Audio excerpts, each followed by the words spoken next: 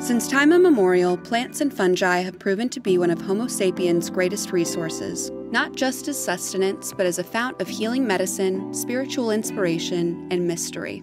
Humans do not merely utilize these species for these purposes, but are intrinsically involved in the cultural knowledge surrounding them, their domestication, and safekeeping. Imagine a world without painkillers, antibiotics, anticoagulants, anti-malarial medicines, or some chemotherapies all of which have been either directly derived from, synthesized, or inspired by plants and fungi. And who would want to live in a world without the mystery and magic of poison tipped arrows or hallucinogens? In Plants of the Gods podcast, renowned ethnobotanist Dr. Mark Plotkin who has worked in and on the Amazon for almost four decades studying the relationship between humans and plants, takes his listeners on an inspiring journey from the most remote corners of Amazonia to other exotic locales. Learn about the fascinating history and uses of the plants of knowledge and power, like the hallucinogenic snuffs of the Yanomamo tribe, to coca, from which cocaine is derived, the ayahuasca liana, from which a hallucinogenic brew is produced, or the diverse formulations of curare, a plant mixture which relaxes the muscles of the body and leads to asphyxiation. Not only will you better understand what we know about these sacred species and how we use them, but how they are revolutionizing Western medicine while the fight is on to protect these healing species and the people who know them best. This and more from Plants of the Gods with Dr. Mark Plotkin. Welcome back to the podcast Plants of the Gods. Today I want to talk about the hexing herbs, the so called witch's brew. My mentor, Richard Evans Schultes, often said the problem with history is it's written by historians who often couldn't tell a pine tree from a palm tree. And that if you look at history through the prism of plants and ethnobotany, you have a better understanding of things that may not seem to be otherwise credible. So these medieval witches actually did fly through the night sky, but they flew through the night sky of their minds on broomsticks, and we'll be getting more into that. When I was a child, they would show the movie The Wizard of Oz once a year, and we would gather around our little TV set and be terrified by the Wicked Witch of the West. So that image of the ancient woman flying on her broomstick is indeed rooted in reality.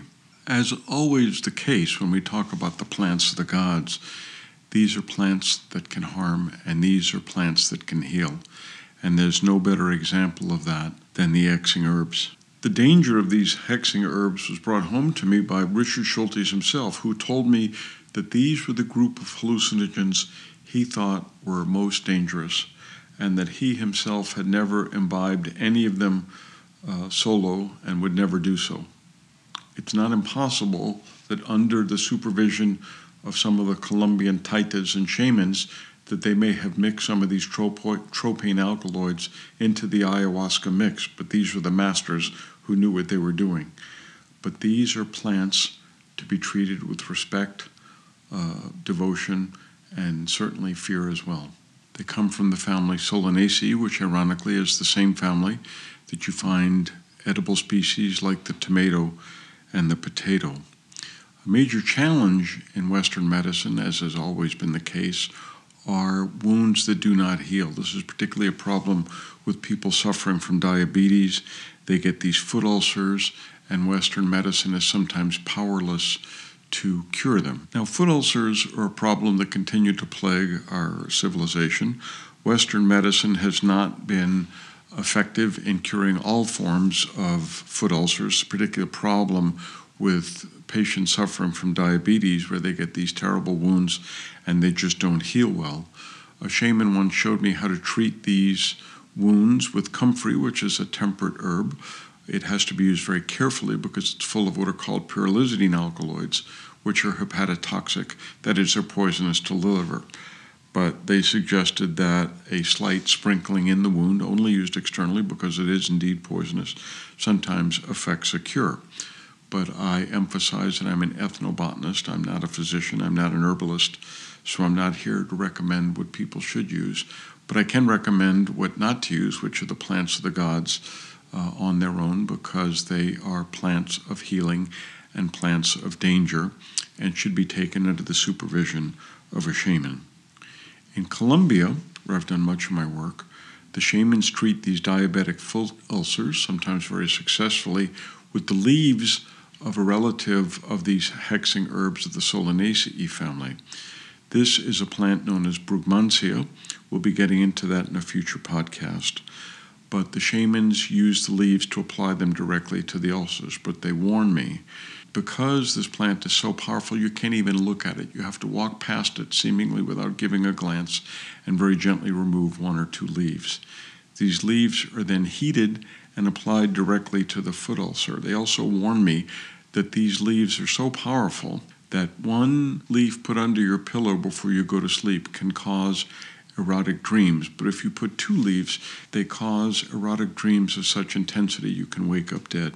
A colleague of mine working with the shamans, who is a physician, took some of these leaves and applied it to the diabetic foot ulcer of an elderly woman he was treating whose wounds had not been responding to traditional Western therapy.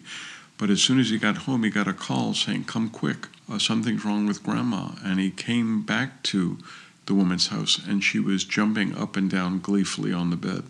The point being that these alkaloids uh, in greater quantity can sometimes cause undesired effects. Now, the hexing herbs, as uh, ethnobotanists describe them, are basically three major plants, all of the Solanaceae. There's belladonna, scientific name Atropa belladonna. There's henbane, Hyoscyamus, several species, but Hyoscyamus niger, the black henbane, is probably the most famous and widely used.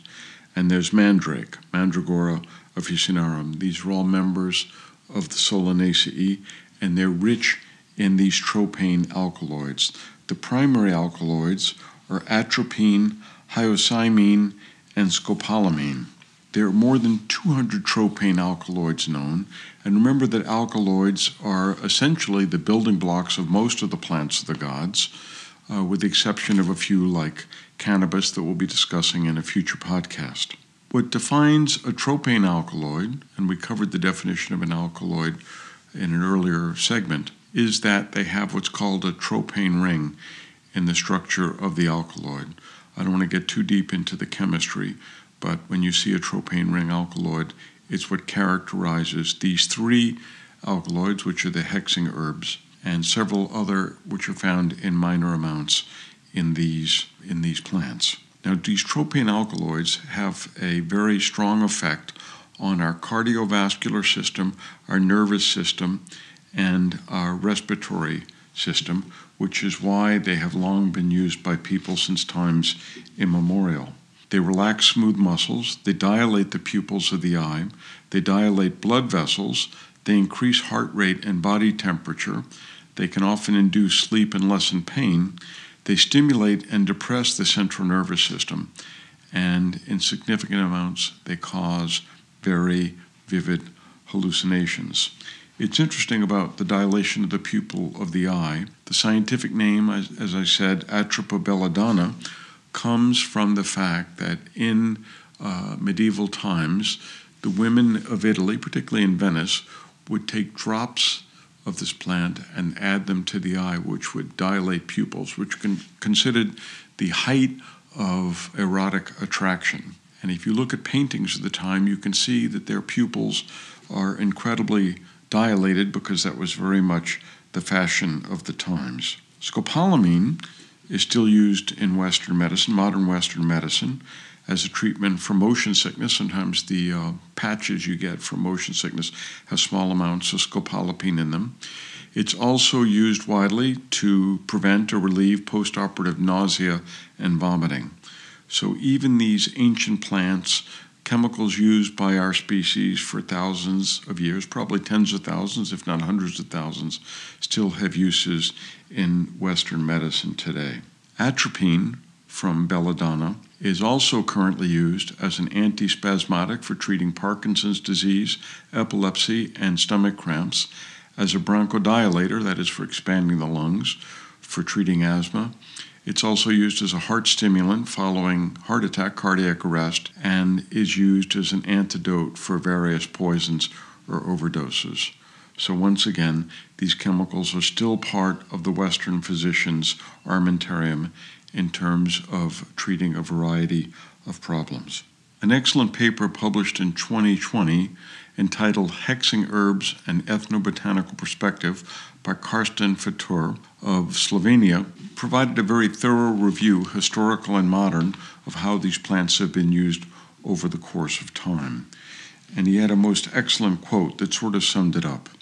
He said, used as inebriants, medicines, poisons, in rituals, and for many cultural inspirations, these hexing herbs have played a crucial role in the shaping of Europe. End of quote, but by extension, in the shaping of uh, our modern culture. He sums up the uses of these various plants as having been employed in cosmetics, as hallucinogens, as medicines, as veterinary medicines. They're grown as ornamentals. They've been used in warfare. They've been used in religion, and they played the crucial role, or perhaps the most crucial component of the witches' ointments. Now, as cosmetics, I mentioned that Atropa belladonna was well known for its use as an eye drop in medieval times. It's also used, or been used as a rouge, a cosmetic rouge, and to treat the hair. And these are very powerful plants, so this use is not recommended. They were also used in warfare as arrow poisons. Remember the issue of curares, plants that are smeared on the tips of arrows or spears to give them a deadly effectiveness. One of the most intriguing use in warfare is that of the famous berserkers. This was a rage state of the elite Viking warriors, and once again we can understand that through a better understanding of ethnobotany. It was these plants that can take people into altered states. A most intriguing use of these plants was by the Scottish people who about a thousand years ago sent poisoned bread and wine to the rival Danish army, which resulted in a victory for the Scots, which is featured in Shakespeare's immortal play Macbeth. The plants have a long history of veterinary use, particularly in Eastern Europe, uh, especially in the treatment of cattle and horses, uh, a variety of maladies from wound healing to uh, bronchial problems, and this is covered very thoroughly in Fatur's recent paper. One of the most ironic and indeed perverse uses of these plants was for amusement. In 15th century Europe, it became the fashion for the royalty to invite guests to these royal banquets, and then they would add the seeds of henbane to beverages served to some of the guests. The guests went slightly mad in some cases, they behaved as animals, and it was considered highly entertaining to observe this and mock the guests as they went into these bizarre states. These hexing herbs played a major role in ancient Greece. The famous oracle at Delphi, who was famed for her prediction of the future, is believed to have entered this altered state through inhaling the smoke of henbane seeds uh, she then entered into a trance, and that is where she then delivered her prophecies, some of which proved quite accurate and, and are famous still. These plants were believed to be one of the reasons that people engaged in orgies to celebrate the Bacchanalia. Uh, Hera, the Greek goddess, is described in the Odyssey as smearing herself with an ointment which allowed her to fly from Mount Olympus, again from an ethnobotanical perspective. We believe that this was an ointment prepared from these witching herbs. And because these plants are used to intoxicate people who then believe they have been turned into animals or begin acting like animals, it's been suggested that in the famous sequence in the Odyssey where the sorcerer Circe converted Ulysses' men into pigs, that it may have been an intoxication using these hexing herbs. And this explains another seemingly inexplicable phenomenon, because it may well account for the phenomenon of werewolves, where in medieval Europe, people would think that they'd been turned into wolves and would roam the forest at night. It may once again been the fault or been caused by intoxication using these herbs. Now, it may seem uh, weird, I mean, it does seem weird, that people would think they'd been turned into animals or act like they'd been turned into animals. But let me give you a, a, a personal example of this. I was partaking in an ayahuasca ceremony in the Putumayo region of Colombia, And one of the most powerful and ancient shamans, we estimate him to have been about 90 at the time, had given me the ayahuasca and had called me over for what he called a limpieza. Is what we would refer to as sort of an energy cleaning, where they pray over you, they chant over you, they cleanse you with, with, with sacred herbs, what they call Vaira Sacha. And as he began this limpieza, I went into this even deeper trance, and I saw myself as a harpy eagle flying over the canopy of the rainforest. Now, most of these conversions in, in Amazonia, most of these uh, changing yourself into an animal in Amazonia, in my experience, is the shaman turning himself or herself into a jaguar so they can roam the jungles at night. And I covered this in my first book, Tales for Shaman's Apprentice. But in this case, I very clearly saw myself as a harpy eagle flying over the canopy of the rainforest, looking down and seeing and hearing all. Here's the weird thing when I woke up the next morning, the muscles in my back were sore. It was sort of like when you when you go skiing for the first time and you haven't been a long time, all these muscles you haven't used start to ache. And these are the muscles in my back where the wings would have been. So, again, under the influence of these plants, these sometimes seemingly inexplicable phenomena seem very real. To purchase Dr. Mark Plotkin's new book, The Amazon What Everyone Needs to Know, or his first book, Tales of a Shaman's Apprentice, visit your local bookseller or order from Amazon.com. In Fatur's paper, he talks about the hexing herbs being used recreationally, which sounds rather peculiar. And in times of boredom, in times of, of a lack of stimulation, people have turned to plants to alter their states. Now, this could be beer, this could be wine, and sometimes it's hallucinations, hallucinogens, and sometimes it's a combination of the two. The famed bacchanalian orgies are believed to have originated or have been caused or have been augmented by wine into which atropa and, and mandrake had been added. So this would not be a, a very altered state. Sometimes in the Middle Ages, these henbane seeds would be thrown onto stoves in bathrooms, creating what Fatur called an uh, hallucinogenic sauna. Henbane was also added to beer, which would certainly uh, exacerbate or augment its effects to cause uh, altered states. And the leaves were sometimes smoked once again to access these altered states. There are cases of datura, uh, not strictly one of the hexing herbs, which are the three that come from Europe. Datura is a what we call a cosmopolitan plant. It's found around the world. But sometimes men were known to add those to cider, which would definitely provide an added kick. I highly recommend a recently published book called The Immortality Key by Brian Muraresku, who looks at the use of these hexing herbs and also opium and also cannabis having been added together to wine and beer to induce these altered states. And one of the hypotheses he sets out to prove in the course of this book is that not only were these types of combinations fundamental to understanding ancient Greek rituals, the Dionysian uh, bacchanalias or the Eleusinian mysteries as vividly portrayed on the walls at Pompeii, but it also explains, in his opinion, some of the origins of Christianity. So, once again, these seemingly obscure plants probably played a much greater role in not only the origin of our religion, but the origin of our culture than most people realize. Throughout the course of history, cultures with a knowledge of powerful plants and potions have often been frowned upon, first by the proponents of early Christianity and later by the Western medical establishment. Devastating events in the past, from drought to floods to serious illnesses, were sometimes blamed on these cultures to discredit them or to explain the inexplicable. A classic case is the Black Death, which was the epidemic of bubonic plague that swept through 14th century Europe, which was deemed by the church to be the fault of witches and Jews as opposed to the bacteria that caused it. Now, witches were in many ways the shamans of medieval Europe. Plants played a central role in their cults. In the opening scene of Macbeth, once again we get back to Shakespeare and Macbeth in terms of plants the gods, The witches chant about a poisonous brew that blends the toe of frog and the root of hemlock, among other agreements.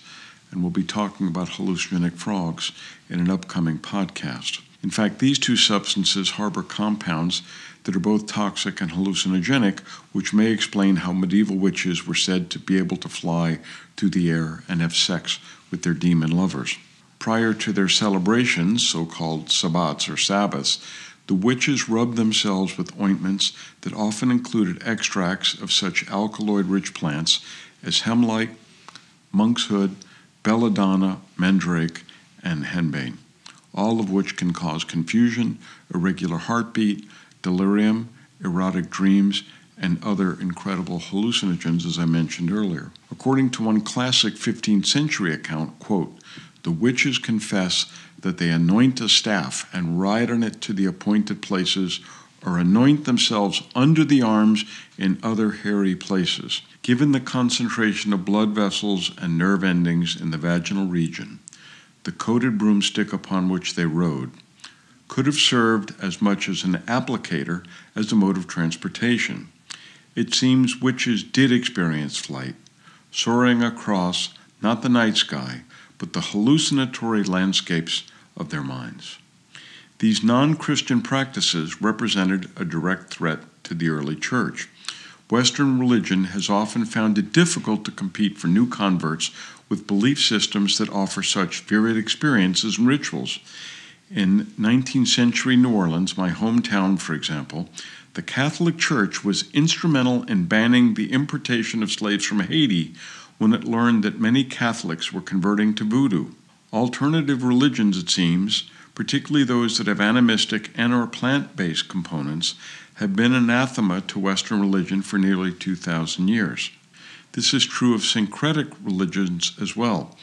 An anthropologist once wrote about the Native American church, where Indians from the American uh, Midwest and, and, and, Southwest were consuming peyote as part of their uh, Western religious practices, that the competition with the church was seen as follows. The white man walks into his church and talks about Jesus. The Indian of the Native American church walks into his teepee, takes peyote, and talks to Jesus. Witches soon became the victims of the church backed Inquisition and were systematically put to death, often in horrible ways. This was just one manifestation of a Western tradition of intolerance of other belief systems. When Europeans first arrived in the New World, they accused the Indians of worshiping false idols and enslaved and even killed them. This amounted to direct attacks on shamans and shamanism, and the ancient religion was eradicated many parts of tropical America, and it continues to the present day. Now, in terms of witches and witchcraft in medieval Europe, some have suggested, some who didn't know much about ethnobotany have suggested, that this was just a fiction created by the church to be able to demonize uh, others, particularly women, and burn them at the stake. But as we've seen, these hexing herbs allowed them to fly through the air and frolic with supernatural creatures at these witches' Sabbaths, according to Michael Harner, who has done some of the most evocative writing about this whole phenomenon. Schultes and Hofmann, in the original Plants of the Gods book, wrote about this vividly as well. Several members of the Nightshade family were favored tools in the hands of medieval witches of Europe, enabling them to perform feats of occult wonder and prophecy, to hex through hallucinogenic communication with the supernatural, and to transport themselves to far off places for the practice of their nefarious skills. These inebriating plants were mainly henbane, belladonna, and mandrake. All three species have long histories of use as hallucinogens and magic plants connected with sorcery, witchcraft, and superstition. The extraordinary reputation of these plants is due primarily to the bizarre psychoactivity which they possess. Michael Harner wrote that the witch is fantasized as flying through the air on a broomstick. The symbol actually represents a very serious and central aspect of European witchcraft involving the use of these solanaceous hallucinogens. The witches rubbed their bodies with the hallucinogenic ointment, which contained these same plants, that is, belladonna, mandrake, and henbane, whose content of atropine was absorbable through the skin. This is important that it wasn't something you had to drink. The witch then indeed took a trip on a broomstick, which is a representation of the imagined aerial journey to a rendezvous with spirits and demons, which was called the Witch's Sabbath. Again, people who didn't understand the power of these plants uh, would dismiss this as just a bunch of nonsense or some sort of weird Freudian thing. And Harner went on to write The use of a staff or broom was undoubtedly more than a symbolic Freudian act serving as an applicator for the atropine containing plants to the sensitive vaginal membranes, as well as providing the suggestion of riding on a steed, which is a typical allusion of the witch's ride to the Sabbath. I also want to encourage people to look at the famous woodcuts of the witch's Sabbath, uh, the most famous of which were done by Gustave Doré, the French artist. Uh, the depiction of these Sabbaths is absolutely bone chilling. It's one thing you can't do in a podcast without visuals, but this is so powerful. Uh, it really is worth looking it up on the internet. Uh, these works of art, like Flying to the Sabbath, Departure for the Sabbath, In the Witch's Kitchen, all show uh, the depiction of the preparation of these plants or the witches getting ready to fly across the night sky. And the proof that this theory about the use of these plants and these broomsticks is accurate, in my opinion, is the fact that the witches sitting on the broomsticks are, for the most part, naked. Now, another good example of, of what happened under the influence of these herbs provided by Porta, who was a colleague of Galileo, who described what happens uh, when the witches were ready to attend their Sabbaths. He wrote that on some moonlit night, they think they are carried off to banquets, music, dances, and coupling with young men, which they desire most of all. So great is the force of the imagination and the appearance of the images that the part of the brain called memory is almost full of this sort of thing.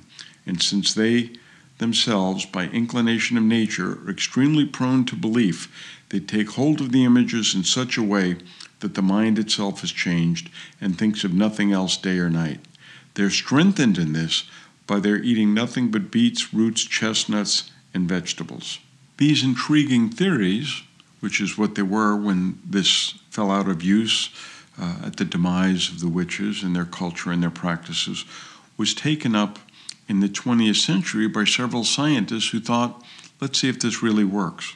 A German professor by the name of Wilhelm Peuckert of Göttingen is reported to have made a flying ointment of belladonna, henbane, and datura and employed it just like the ancient witches did.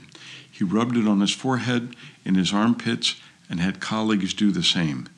They fell into a 24 hour sleep in which they dreamed of wild rides, frenzied dancing, and other weird adventures of the type connected with medieval orgies. Gustav Schenk, Another researcher also exper- experimented with henbane, although not in the form of the ointment. He decided to inhale the smoke of the seeds, which we believe was behind the divination uh, of the oracle at Delphi. He wrote, My teeth were clenched, a dizzying rage took possession of me.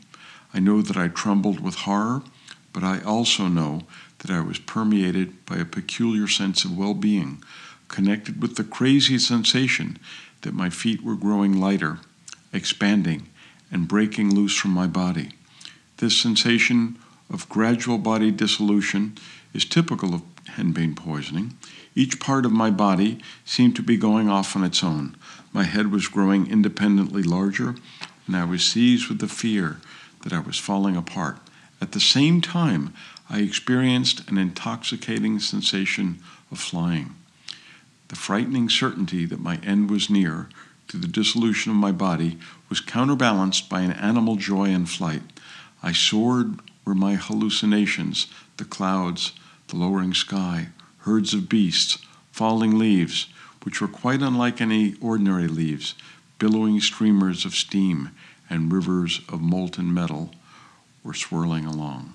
And a final account of people turning into beasts under the influence of these magical plants comes from the Amazon.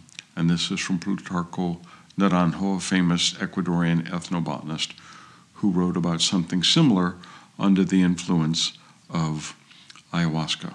Quote, I wasn't a fish anymore, but a big cat, a tiger.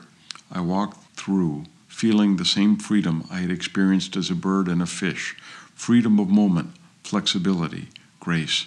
I moved as a tiger in the jungle, joyously, feeling the ground under my feet, feeding my power, my chest growing larger. I then approached an animal, any animal. I only saw its neck, and then experienced what a tiger feels when looking at its prey. One interesting and odd aspect of these plants of the gods is they're from the Solanaceae family, as I mentioned at the outset, and they all look uh, vaguely similar, smell vaguely similar, uh, as do most solanaceous plants, that is, plants of these family. Now, the two best known uh, plants of these families are tomatoes and potatoes. Tomatoes uh, from either the Andes or, or Central America, potatoes clearly from the Andes. In the age of colonialism, uh, royalty wanted to move these plants around primarily to feed the poor and just make them work harder. But there was a problem when they brought the potato and the tomato to Europe. Peasants wouldn't touch them because they looked like these hexing herbs, which are famously dangerous. So, in a brilliant bit of marketing, uh, Frederick the Great in 1774 established a public plot in, of, of growing potatoes and announced that these were the food of royalty and nobody else could touch them, much less eat them. And he surrounded the plot with imperial guards to keep people away, and then at night he ordered them to go home. So, what happens when you tell somebody they can't have something? Of course, the people snuck in and uh, grabbed the potatoes and grew them and tried them themselves. And that is how the potato took root in Europe. It then led to the Great Potato Famine in Ireland, which is another story. But among other things, it brought the Kennedy family and possibly the Reagan family to U.S. shores. So once again, these plants, these solanaceous plants, had a major impact on uh, global history. Similarly with the tomato, people didn't want to eat that either and there's a famous instance of a fellow who was trying to introduce the tomato, and he announced that he was going to devour them in public. Well, this being the age of public beheadings and hangings, everybody wanted to turn out for a great show.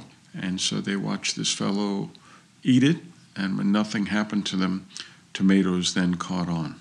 There's a couple of odd and interesting uses of these plants of the gods which are little known to the general public in about 1899 or 1901, physicians came up with the idea of using these herbs to induce what they called midnight sleep. This is primarily using scopolamine, where they would give a mixture of scopolamine and usually morphine to pregnant women going into labor. Uh, they wouldn't feel any pain. They often couldn't remember the traumatic experience they went through. They were in this midnight sleep. And this was all the rage. This was used on my own mother when I was uh, born in 1955.